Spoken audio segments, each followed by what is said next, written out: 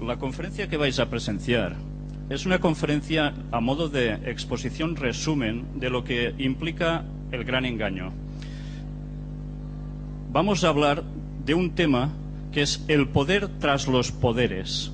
Suena un poco ambigua la frase, pero creo que en el fondo es bastante clara. El poder que dirige a los gobiernos de este mundo, por detrás. Vamos a ver cómo no solo hay los poderes que nosotros conocemos cuando la gente va a votar a las urnas, sino incluso poderes que en verdad son los que mueven a estos dirigentes. Esto normalmente mucha gente no lo sabe, se cree que tú vas a votar y sencillamente sale elegido el que tú quieres y ese hará lo que él quiera. Bien, las cosas no están funcionando así. Lo vamos a demostrar aquí brevemente, pero en las conferencias del gran engaño tenéis muchas para ir viendo prueba a prueba de que esto no es ciencia ficción, es la realidad. Vamos a empezar con la simbología oculta en el billete de un dólar. Aquí tenéis el anverso del billete de un dólar. Ya veis que hay una serie de dibujos.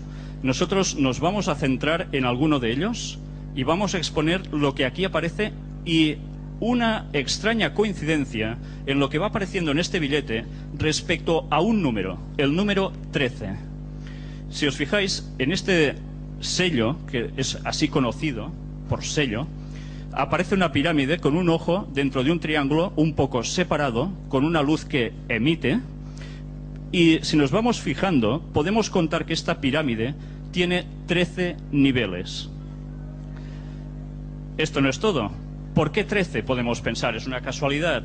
Bien, eh, lo que vais a ver hoy es un poco de repaso a lo que cree la gente del mundo ocultista.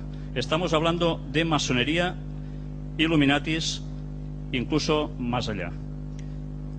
El número 13, cabalísticamente, significa muerte y nacimiento, cambio total, transformaciones. Sabéis que hay alguien que también, algún comentarista de televisión, que nunca cita el 13, sino que dice 12 más 1. Es la equivalencia a Mesías. Pero en ocultismo satanismo directamente el 13 equivale a Lucifer o Satanás. ¿Sabéis? Lucifer era un nombre primigenio, Satanás es un nombre que se le puso después que significa adversario, deja de ser un portador de luz. En la base de la pirámide aparece una cifra, en números romanos, ya lo veis, que si lo sumamos es 1776. Fue la fecha de declaración de independencia de los Estados Unidos de Norteamérica. Pero además, curiosamente, fue la fecha de creación de la Orden Illuminati hecha por los jesuitas en Baviera, en lo que ahora conocemos como Alemania. Aquí tenéis este famoso ojo conocido como el ojo que todo lo ve. Aparecen portadas de textos jacobinos, que eran los partidos radicales franceses durante la revolución de su país, los que instigaron básicamente esa revolución el símbolo del ojo que todo lo ve, ojo del maestro de obras de los mundos o del gran iniciado, como dicen la, masonería, usado en blasones, escudos de armas, de logias masónicas de todo el mundo. Los Illuminati lo llamaban su delta resplandeciente.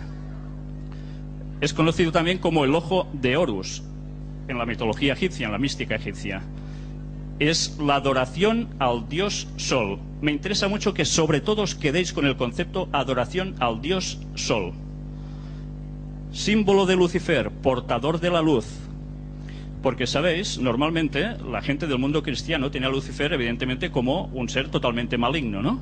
Pues bien, para el sector masónico, Illuminatis, Lucifer sigue siendo un portador de luz por tanto, el papel que el cristianismo aplica a Cristo como el personaje bueno, ellos lo pasan a Lucifer y a la inversa. ¿Veis que está dentro de un triángulo brillante? Significa el esclarecimiento mental. Ya sabéis que la masonería funciona por distintos grados, en distintos niveles. Cuanto más suben, más conocimiento reciben, más luz, esclarecimiento mental reciben, dicen ellos y aparece en la letra griega delta, que es igual a la transición. ¿Transición a qué? Ya lo veremos.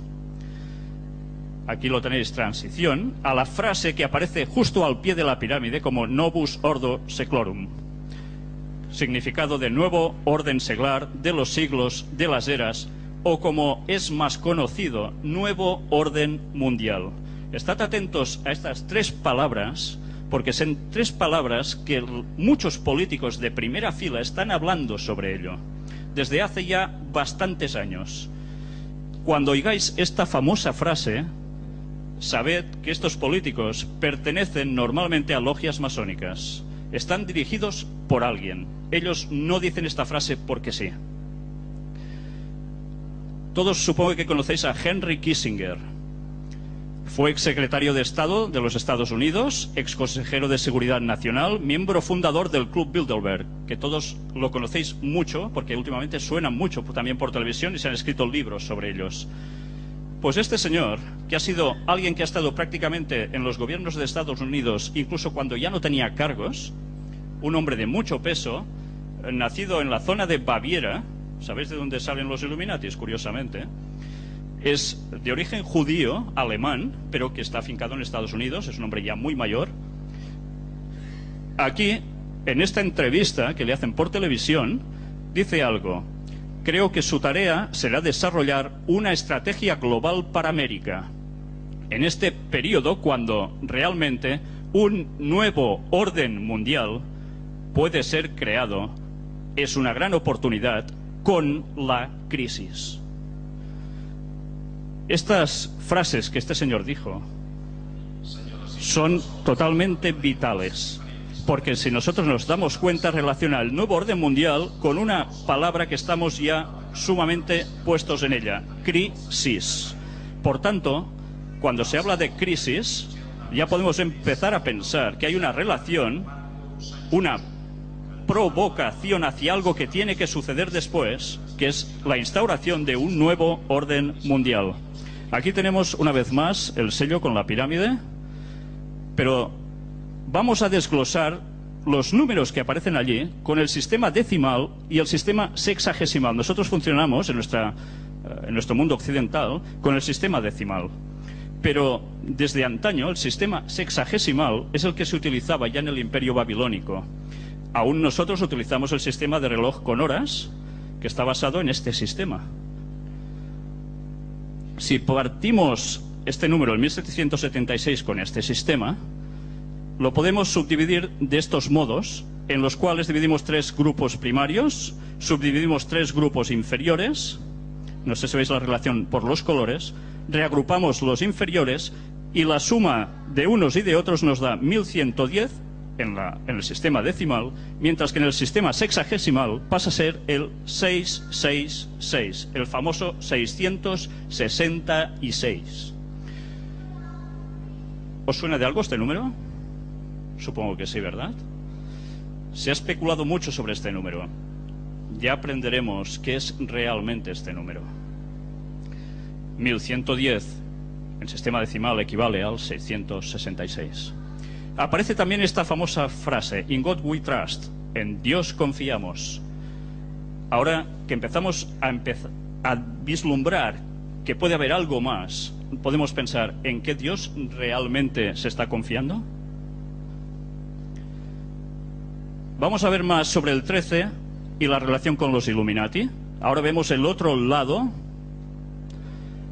donde aparece también, bueno, aquí hay una frase de 13 letras, Anuit coeptis, esto está sobre la pirámide. Él ha favorecido nuestra empresa, es su significado, nuestra empresa coronada por el éxito. ¿Qué empresa? ¿A qué se está refiriendo? A una instauración de un nuevo orden mundial. El águila que habéis visto, mirad cómo curiosamente agarra una rama de olivo, que es el significado, todos conocidos, del símbolo de la paz, pero que además es también símbolo del pueblo judío. Pero curiosamente, si empezáis a contar las hojas, salen trece, ni una más, ni una menos. Pero en la otra garra aguanta unas flechas, que es el símbolo del poder bélico. ¿Y cuántas hay? Trece también. Si vemos encima de este animalito, aparece una constelación con trece estrellas de cinco puntas. ¿Por qué? Mirad qué sucede cuando unimos en un trazo la disposición de estas estrellas. Aparece la conocida estrella de David, muy mal llamada estrella de David, porque David jamás utilizó este símbolo. Estamos hablando del rey David judío. Mirad también la frase que aparece, e pluribus unum, de muchos uno o unidad en la pluralidad. En total también de 13 letras. ¿Será una casualidad? En el escudo aparecen también 13 barras. Las barras representan los 13 estados originales que se independizaron del Imperio Británico. 13 franjas tiene la bandera de los Estados Unidos. Y esta es la bandera original de lo que era primordialmente en sus inicios Estados Unidos. Ya veis que la disposición de las estrellas de cinco puntas hacían un círculo sobre un fondo azul. ¿Os recuerda también una bandera muy nuestra? La de la Unión Europea. Había trece estrellas que eran también los que firmaron la Declaración de Independencia de 1776. Aquí tenéis al señor George Washington, que no sé si lo veis vestido un poco extraño, y en otros grabados aparece él vestido con el mandil masónico, ¿sabéis? Como un delantal, porque él pertenecía a una logia masónica. Prácticamente todos los presidentes de Estados Unidos han pertenecido a logias masónicas. Las estrellas sobre fondo azul debían representar a la nueva nación en el universo de naciones ya existentes, por eso tiene el fondo azul. Cada estrella equivalía a un estado, ahora hay muchas más que en, que en sus principios. Las estrellas de cinco puntas que tenéis aquí, además si unís el trazo exterior, forman un hexágono. Ya veis que una vez más la base del número 6. Pero, ¿qué significan las estrellas de cinco puntas? ¿Por qué se dibujan así? Las estrellas de cinco puntas aparecen ya también en el Vitruvio, algo que pintó Leonardo da Vinci. Es el hombre liberado de la tutela de Dios. Pero la estrella de cinco puntas invertida además significa o es conocida como la cabeza de Méndez, que significa Satanás. Vamos a ver más detalles sobre treces que aparecen en el billete de un dólar. Si os fijáis en el lado izquierdo y en el lado derecho, en los dos extremos, ¿veis cómo esta cola de serpiente de cascabel? Tanto si contáis por la izquierda como por la derecha, os aparece 13. ¿Por qué será? Y aquí veis un montaje. En Estados Unidos todos conocemos que hay un obelisco frente al edificio principal del, gobierno de ellos, que está además puesto, ¿lo veis?, dentro de una circunferencia. ¿Por qué?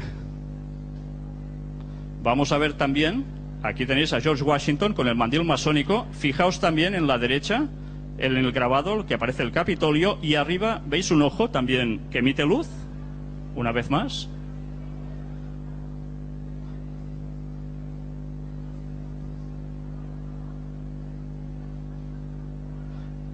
¿Veis la relación entre una cosa y otra? Lo mismo que aparece en el grabado también está en el billete del dólar. Aquí tenéis la cara principal del billete, donde hay un detalle que difícil de percibir a simple vista es. Y está aquí. ¿Lo veis mejor? Es un búho. ¿Por qué un búho puesto aquí? ¿Fue una gracia del señor que diseñó el billete, que quería hacer su simpatía y ya está? El búho es el símbolo del ojo que todo lo ve, porque también ve por la noche, el que todo lo controla, el gran hermano, como se está hablando también mucho en los medios de comunicación, alguien que controla absolutamente todo. Si veis aquí diferentes símbolos que aparecen en la iglesia de Saint-Étienne en París, veis también el triángulo emitiendo la luz, tanto en la izquierda como en la derecha, pero ya veis que a la izquierda, en la parte inferior, esto es el interior de una logia masónica. ¿Qué aparece allí? El triángulo emitiendo luz por encima de una estrella de cinco puntas. En el reverso del billete de dólar lo tenéis aquí. Pero ya veis que también, precisamente, personas que se mueven en un cierto ámbito de la nueva era, con terapias alternativas y demás, tienen una gran asociación con simbología precisamente de las órdenes masónicas, aunque muchos de ellos ni lo saben. Lo veis aquí abajo, ¿verdad? Pues de esto podríamos hablar mucho, muchísimo, porque llegaríamos a descubrir cómo hay un origen común para muchas de las cosas que podéis percibir incluso hoy a vuestro alrededor. Vamos a hablar ahora sobre la conexión entre el 13 y el Vaticano. Todos recordáis la escena del entierro de Juan Pablo II. En su funeral, ¿veis quién está de rodillas ante él, ante su cuerpo? Los presidentes últimos de Estados Unidos y expresidentes. Arrodillados. ¿Sabéis? Si esta escena hubiese acontecido tan solo 70 años atrás, 80, tirad largo, si queréis hasta 100, en Estados Unidos hubiese habido un revuelo si cualquiera de sus dirigentes, arrodillándose delante de este cuerpo, hubiese hecho esto. Porque Estados Unidos se basó básicamente en el protestantismo. Y ellos decían que el papado era la bestia de Apocalipsis. Pero mucho han cambiado las cosas en Estados Unidos para que ahora ellos rindan pleitesía y desde su mismísimo gobierno ante el cuerpo de un papa muerto. Es pleitesía al Vaticano. El significado es mucho más profundo de lo que una persona puede apreciar cuando ve tan solo una fotografía. Quiere decir que el gobierno de Estados Unidos está trabajando para alguien que es el que está delante, el que representa el Vaticano. Pero mirad las extrañas coincidencias. Extraído de periódicos del momento del fallecimiento del Papa. El día de su muerte fue el día 2 de abril del 2005. Si nosotros sumamos cada número de ellos, nos da 13 también. Esto es conocido como numerología ordinología y que la ciencia cabalística, la masonería, no para de moverse con números. Luego veremos otro número más, que aconteció algo en cierta fecha. Miramos y vemos otra coincidencia.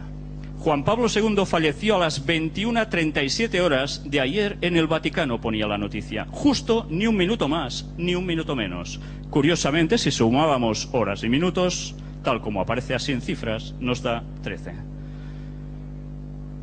Vemos aquí también, cuando es elegido el nuevo Papa, Ratzinger pasa a ser Benedicto XVI y se anuncia a las 17.50 su elección como papa. Eso daba 13. Mirad ahora también como el cardenal Joseph Ratzinger se convirtió, dice ayer, en el 265 papa con el nombre de Benedicto XVI. 2 y 6, 8 y 5, una vez más, 13. Llega el momento de la fumata blanca, aquí lo tenéis, 17.50. Justo en esos momentos, ni minuto más ni minuto menos, también nos daba 13. Y cuando dicen desde el balcón, habemos papam, la famosa frase, sucede a las 18.40 minutos. También suma 13. Bueno, serán casualidades, ¿no? Pero además, otra casualidad más es el 148 obispo de Roma enterrado junto a San Pedro. Si también sumamos las cifras, nos da 13. Si hacemos un resumen de coincidencias, por decirlo de algún modo suave, podemos ver que seis veces aparece el número 13. Y os digo seis veces, porque el número 6, antes hemos hablado del 666 que aparecía también, ¿verdad? El 6 es asociado con el número del hombre. Tres veces 6 significa el hombre apartado completamente de Dios. Bien, quedaros con este dato. Y otra extraña casualidad, la Virgen de Fátima hizo sus apariciones un día 13, pero se siguió apareciendo durante siempre cuando coincidía con días 13. Está registrado por periódicos eh, portugueses cómo fue la aparición con formas y cosas sorprendentes. Hubo muchos testigos, pero siempre en día 13. ¿Por qué? ¿Realmente era la Virgen la que se aparecía allí? Si vais viendo las conferencias del gran engaño, os daréis cuenta que sí que hay apariciones y hay unas extrañas apariciones de un personaje que siempre pasa por la Virgen.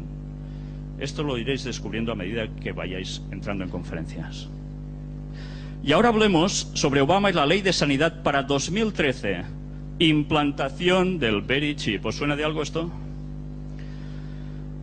Ahora la polémica reforma sanitaria de Barack Obama en juicio.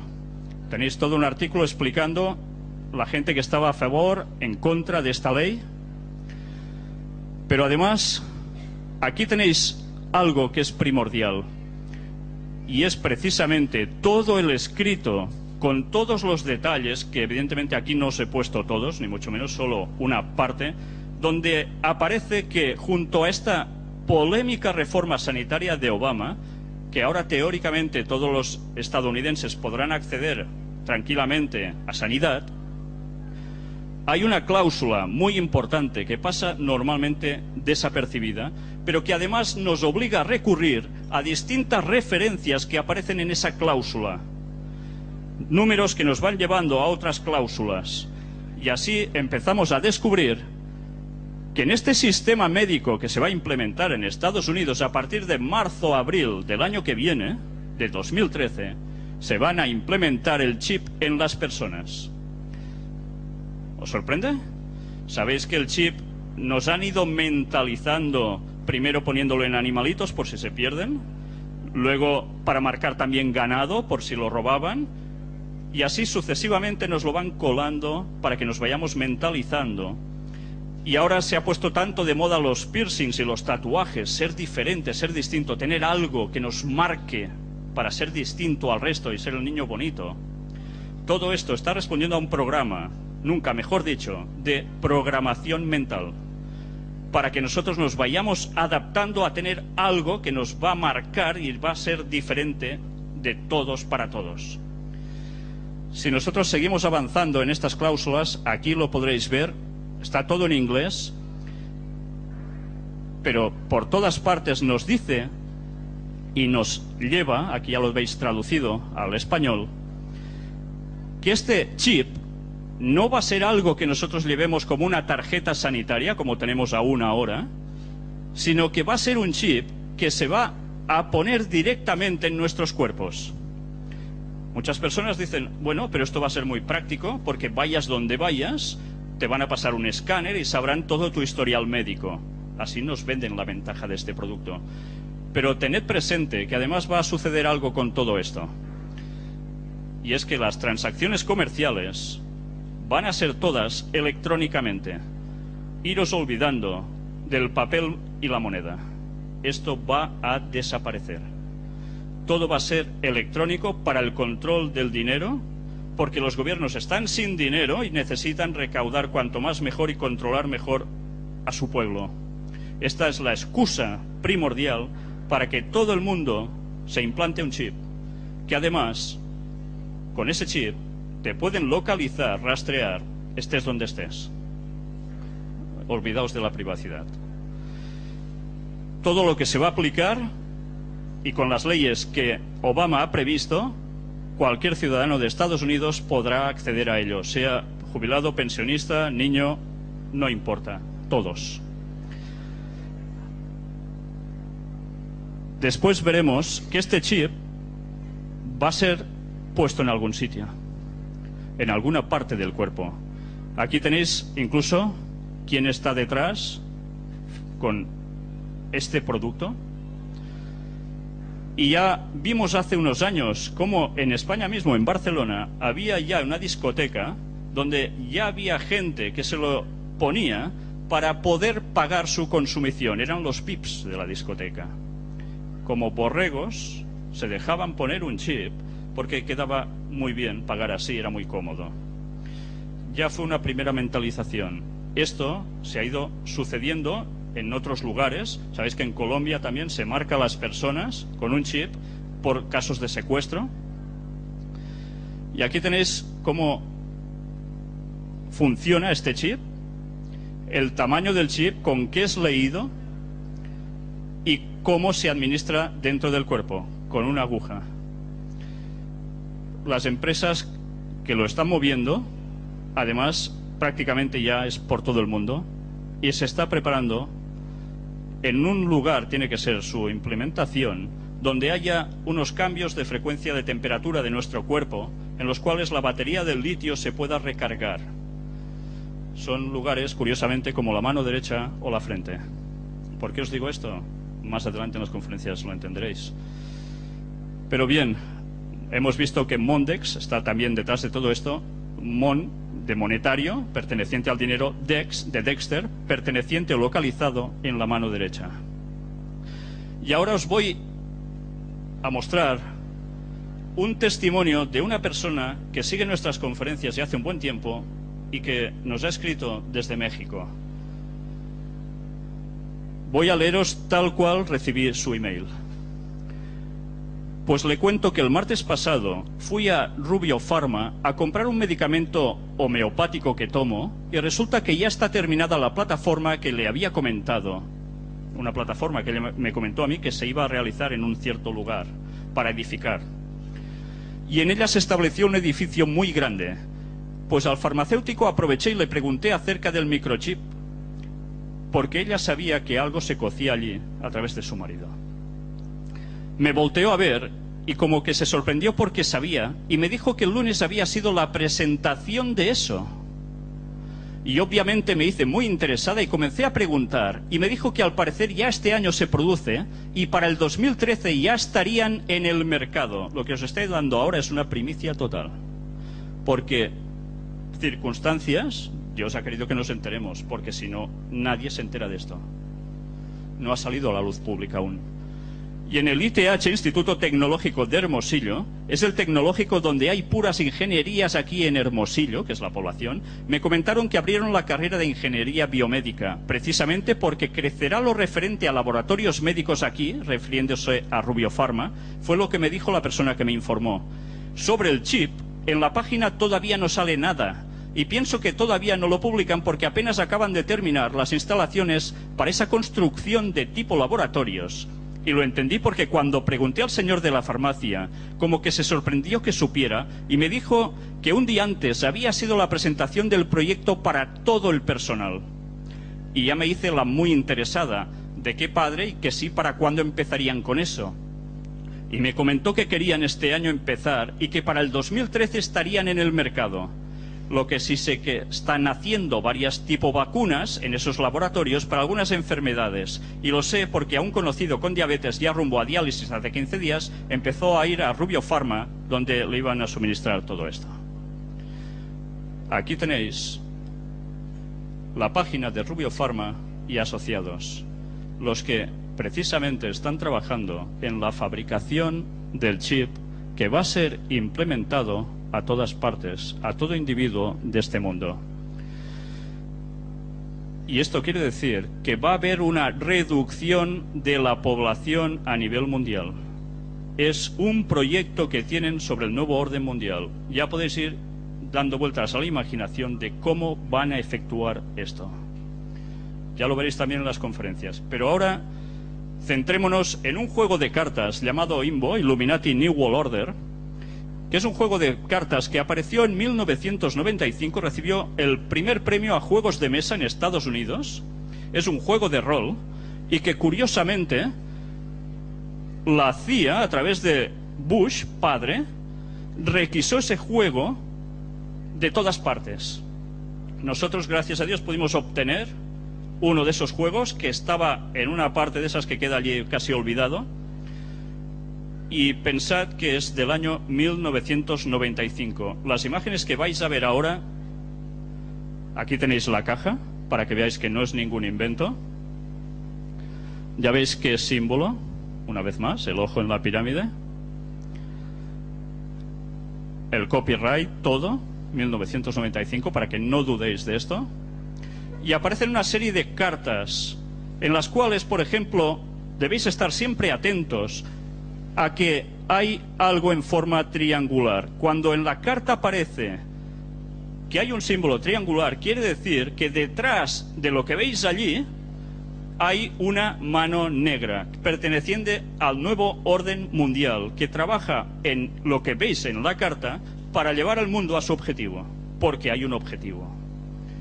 En el reciclaje, la mano del reciclaje. ¿Por qué de repente tanto reciclaje? Porque el mundo si no, eh, no aguanta.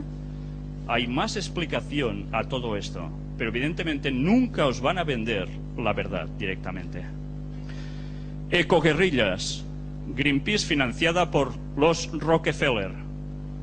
¿Entendéis quiénes son los Rockefeller? La máxima economía mundial junto con los Rothschild, las dos grandes familias que están en la cúpula de la masonería mundial y de los Illuminati, que trabajan además para el Vaticano. Ellos mismos crean problemas para dar una solución y mentalizar a la gente que hace falta algo para equilibrar la sociedad. Ellos mismos financian las ecoguerrillas para ir a proteger y salvar el mundo ecológicamente. ¿Está mal eso? No, está bien, ¿verdad? Pero todo responde a un objetivo que hay detrás que ya iréis viendo. Se da un problema para dar una solución. Manipulación de mercados. La bolsa sube, baja, nadie sabe exactamente por qué. Alguien está manipulando los mercados. Ya veis en el balance de la báscula lo que nos ponen, ¿verdad? Que desequilibra totalmente el mercado. Alguien tiene un cierto poder. En esta carta aparece no sé si os fijáis, un pez grande, que es donde hay delante suyo la moneda del yen, la libra esterlina, el dólar, pero aquí hay un símbolo de un pez que está delante de otro más pequeñito. Este símbolo era la moneda del euro. 1995. ¿Teníais euros en 1995? ¿Verdad que no? Alguien sabía que el euro tenía que salir. Y en una de las conferencias pude mostrar un escrito perteneciente al Vaticano en el cual ya se hablaba como ellos estaban detrás de la formación del euro. ¿Por qué será? Evidentemente se estaba comiendo a las monedas de cada nación de Europa. Se iban a crear monopolios. Ya estáis viendo fusiones tremendas de grandes monopolios, cada vez más. Pero también nos advierten que en ese nuevo orden mundial va a haber una crisis energética tremenda.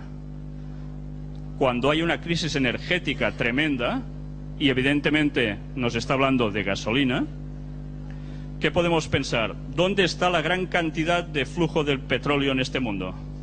En Oriente Medio empezáis a relacionar algo de lo que está sucediendo en las famosas primaveras árabes que parece que han sucedido porque el pueblo estaba harto nada más y se han rebotado contra sus dirigentes? ¿Creéis que sencillamente ha sido eso o ha habido algo más detrás? ¿O ha habido un interés entre varias naciones muy importantes de este mundo, como son Estados Unidos, sus aliados, China y Rusia por otro lado, que quieren quedarse con el mercado petrolero de esa zona, que además a su vez trabajan para alguien? Vamos a ver luego una carta que os va a sorprender, relacionada directamente con todo esto. Pero mirad que aparece en una de estas cartas del juego. El Papa, donde en la mitra lleva, también grabado, para simbolizar con qué está puesto, el símbolo de los Illuminatis. ¿A quién sirve en verdad el Papa? ¿A Dios o a Lucifer? En el juego de cartas aparece una vez más los Iluminados de Baviera, donde aparece como un poder de 10 sobre 10, lo máximo. Recordad que fue constituida por Adam Weishaupt, un jesuita, que jamás en verdad dejó de ser jesuita. ¿Por qué será? Ellos se pusieron, consiguieron a través de infiltración en masonería ponerse en los lugares más altos de poder de estas logias para supeditarlos a un cierto lugar, al Vaticano. Hablemos sobre el 11S. ¿Recordáis el atentado del 11 de septiembre? 2001. Un día 11 fue una casualidad, ¿verdad? Podía haber sido cualquier otro día. El 11 también, en numerología cabalista, es aprobado por ley divina. Algo estaba previsto hacer, sí, os digo, previsto hacer, puede ser eso, que sucediera un día 11. Aprobado por ley divina. ¿Por Dios? ¿Dios aprobó una desgracia así? Cuando ellos hablan de su ser divino, no están hablando del Dios cristiano o judío, están hablando de Lucifer. ¿Qué aparece en esta carta? 1995, el ataque a las Torres Gemelas. Justo lo que sucedió seis años después. ¿Entendéis ahora por qué este juego fue requisado, entre otras cosas? ¿Y esto qué es? El ataque al Pentágono. Recordáis que un avión muy grande impactó. ¿Sí? ¿Veis vosotros un avión aquí? Yo veo coches de bomberos, veo una hierba perfecta y unos cuantos bomberos andando hacia este lugar, en un edificio que solo tiene un boquete que estaba abajo y que veo que se derrumba desde arriba hacia abajo. Yo no veo ninguna alas, no veo nada de un avión. ¿Vosotros sí? Ah, ah, ah, yo entendí que un avión impactó allí. Mirad que aparecía también en 1995 el Pentágono también sufriendo algo. ¿Casualidad? ¿Cómo nos manipulan? ¿Y esta carta qué quiere decir? ¿Un avión se lleva una nube para acá? Este señor vestido con bata blanca, científico, evidentemente dice, tú, huracán, te vas al otro lado. ¿Os dais cuenta de lo que nos están simbolizando con esta carta? Que la climatología se puede alterar. No es ciencia ficción es lo que se llaman las armas geofísicas. Hay resoluciones de la ONU hablando para que no se utilicen esas armas. Esto existe, no son bromas. Ha habido un huracán en tal sitio, un tifón en tal, un tsunami, un terremoto impresionante. ¿Siempre sucede porque son caprichos de la naturaleza? Planteároslo a partir de ahora. Porque vamos a hablar un momento sobre el cambio climático y ese famoso deshielo que está sucediéndose en algún punto de nuestro planeta donde evidentemente hay mucho hielo, la Antártida, ¿verdad?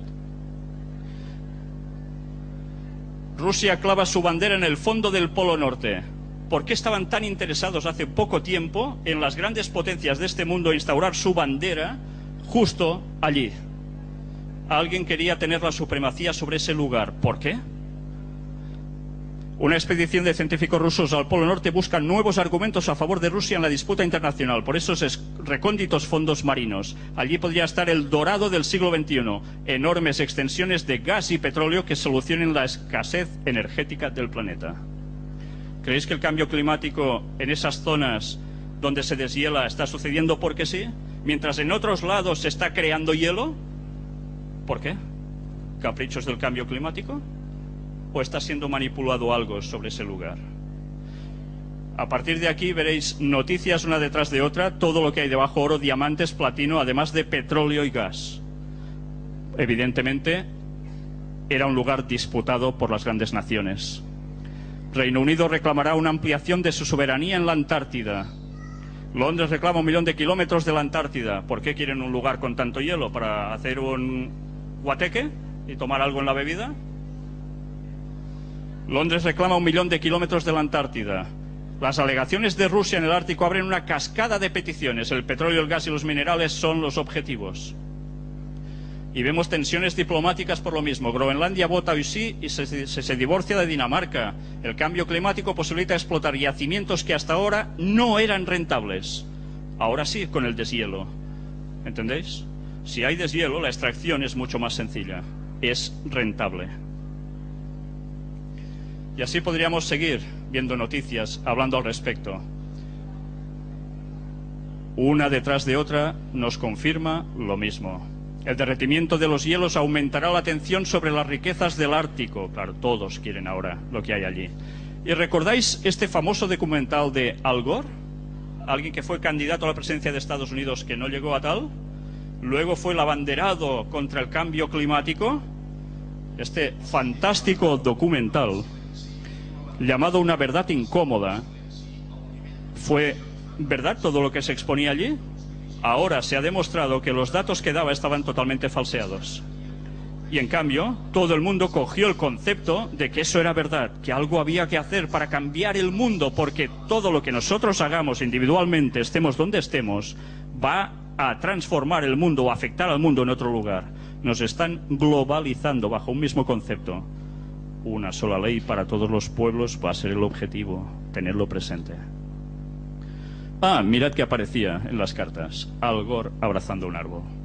No sé si veis unos ojos siniestros dentro de este árbol. Al Gore también está en lo mismo. Cambio climático y reducción de la población, antes os lo decía. Científicos señalan que el planeta Tierra puede colapsar cerca del año 2025. ¿Y qué hay que hacer? Dicen ellos. Reducir la población mundial.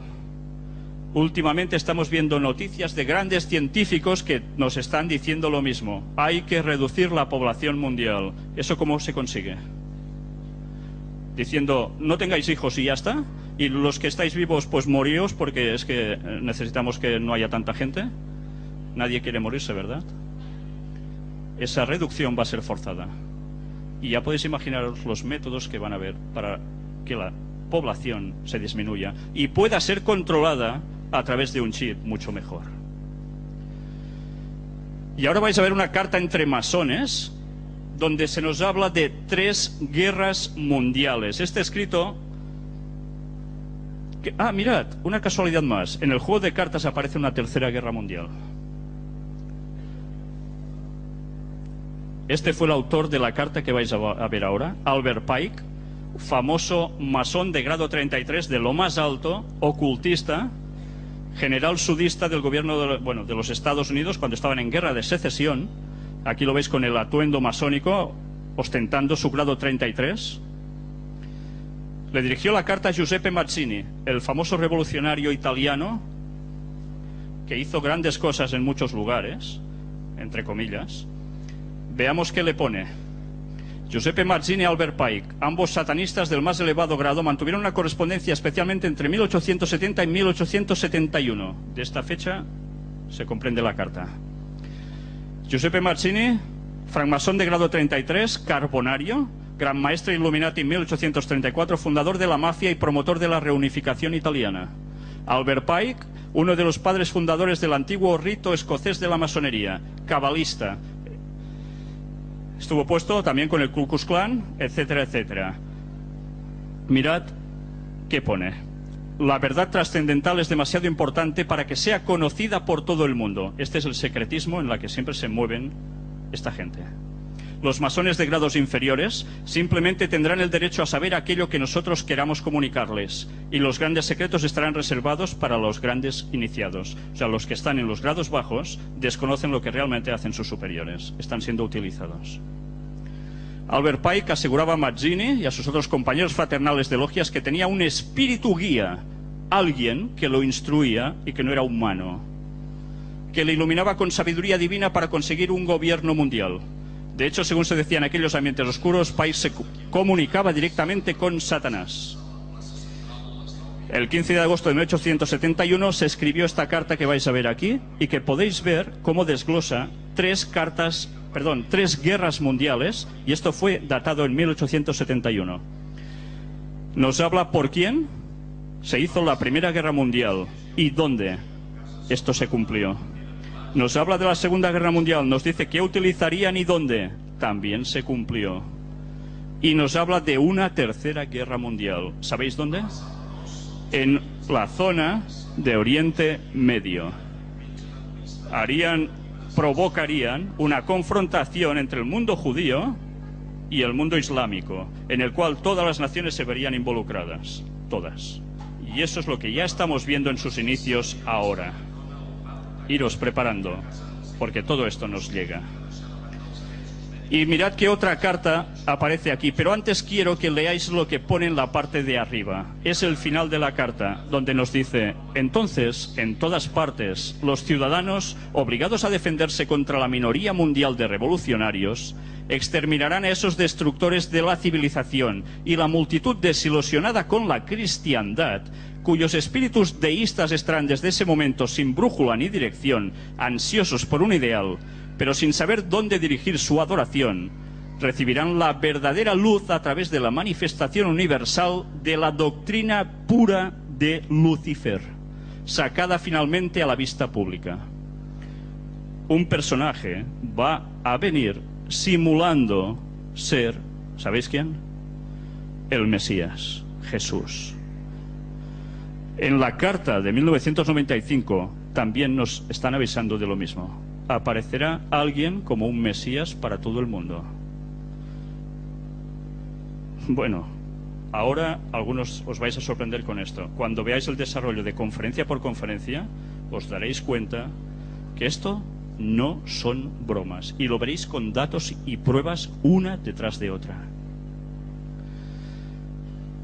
Aquí tenéis las personas que estuvieron sacando esta carta a la luz y ahora, precisamente, tratemos sobre la primavera árabe, esto que ha sucedido por casualidad.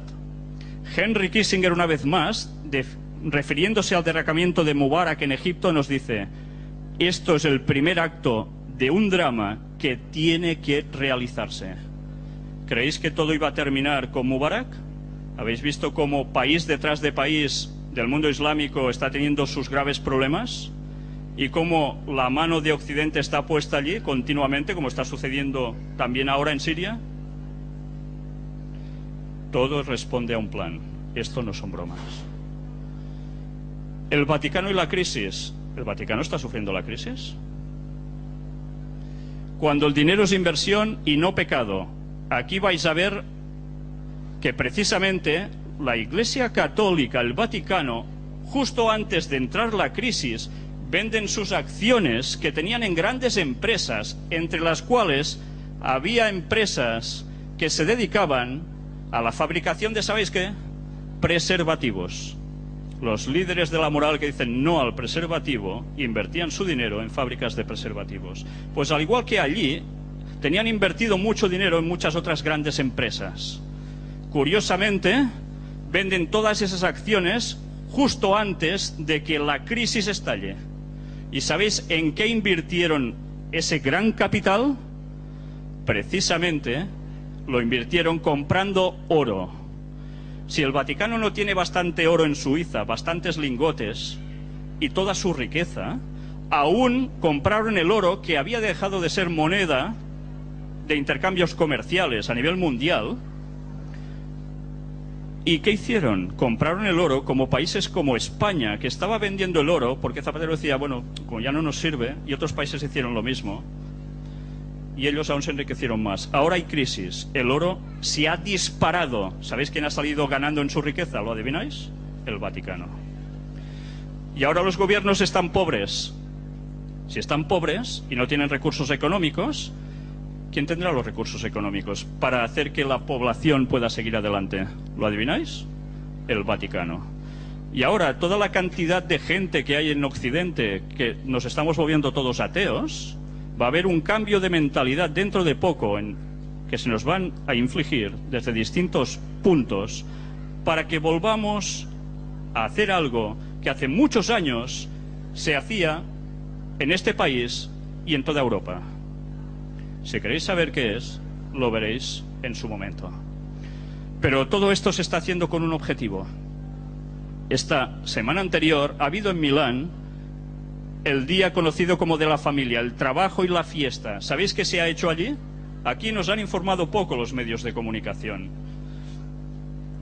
Quisiera recordar que hay que defender el tiempo de la familia, ha dicho Benedicto XVI, amenazado por una especie de predominio de los compromisos laborales.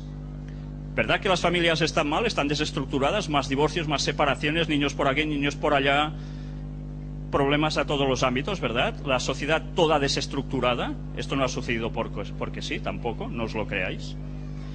Pero mirad qué aparece ahora en sus palabras. El domingo es el día del Señor y de la persona, cuando todos deben ser libres, libres para la familia y para Dios. Si defendemos el domingo, defendemos la libertad del ser humano. ¿Algunos de vosotros trabajan domingo? Probablemente sí, ¿verdad? ¿Verdad que os gustaría estar en familia ese día, tranquilitos? Todo el mundo clama por esto. Él aboga por esto. Una cuestión. ¿El día del Señor es el domingo? Solo os digo una cosa. Recurrid, si tenéis, que os la recomiendo que lo tengáis porque vale la pena, coged una Biblia y buscad el segundo libro, que se llama Éxodo, capítulo 20, donde aparecen diez mandamientos que se dice que Dios les dio al ser humano, a Moisés. ¿Sabéis qué aparece como el cuarto mandamiento? Guardarás el sábado, santificarás el sábado, el, séptimo, el sábado, séptimo día de la semana. ¿Sabéis que el sábado es el séptimo día de la semana? Mucha gente no lo sabe. Incluso los diccionarios o las enciclopedias están siendo cambiadas a partir del año 1990 en adelante para que veas que pone que el domingo es el séptimo día de la semana cuando buscad en diccionarios antiguos o enciclopedias antiguas y veréis que el domingo es el primer día de la semana, no el séptimo. Este señor está mintiendo. El domingo no es el día del Señor. Bíblicamente es el sábado. Pues bien, ¿creéis que algo va a suceder aquí? Pues sí, va a suceder. Va a suceder. Si hay que volver a lo de antes, es volver al domingo. Y alguien tiene un sello especial, una marca especial para instaurar el domingo como día de reposo. Y aquí veis descubrimientos arqueológicos ocultados. ¿También? Pues sí. El arca de la alianza, ¿sabéis cuál? La que buscaba el famoso Indiana Jones en la película, fue hallada en 1982 por este arqueólogo, Ron Wyatt. ¿Qué tiene que ver esto? ¿Qué había dentro del arca? ¿Lo sabéis? Habían diez mandamientos. Allí ponía que el sábado era el día de santificar, no el domingo. ¿Por qué creéis que esto no se ha hecho público? Por algo es. Veréis la, la, entrevista que tuvimos con la familia de Ron Wyatt. Es realmente impresionante. No os perdáis esas conferencias. El gobierno de Israel mantiene el hallazgo encubierto. No son los únicos. Pero solo, solo hay una solución.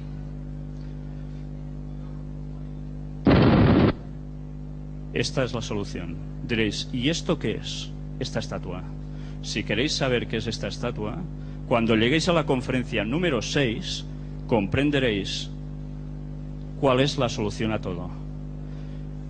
Aquí tenéis nuestra página del gran engaño www.elgranengaño.wordpress.com Supongo que os habrá suscitado muchas preguntas este tema.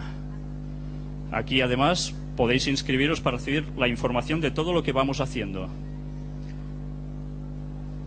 Y sencillamente quiero dejaros con el pensamiento de que os deis cuenta cuando miréis las noticias que hay algo más que no os van a contar jamás y que allí podéis encontrar. Muchas gracias.